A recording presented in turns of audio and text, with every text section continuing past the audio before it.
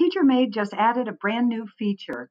Teachers have asked for it and it is here. You can now review your students' submissions, you can score their work, add comments, and return the completed worksheets to the students for review.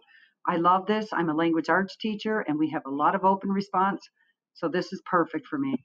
Here's how you do it. In my worksheets, click on the assignment that you have given the students.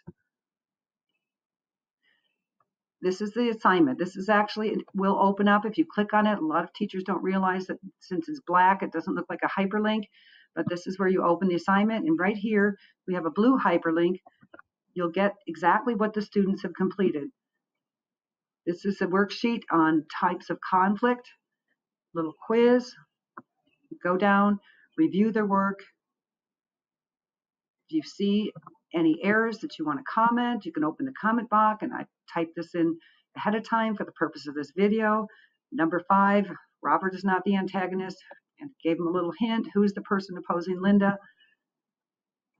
You could type in there, super job, congratulations. You can be very specific. Go ahead and finish grading the entire assignment. There are 10 questions here, so we're going to put 10 on to the right, and this student got 9 out of 10 on this assignment.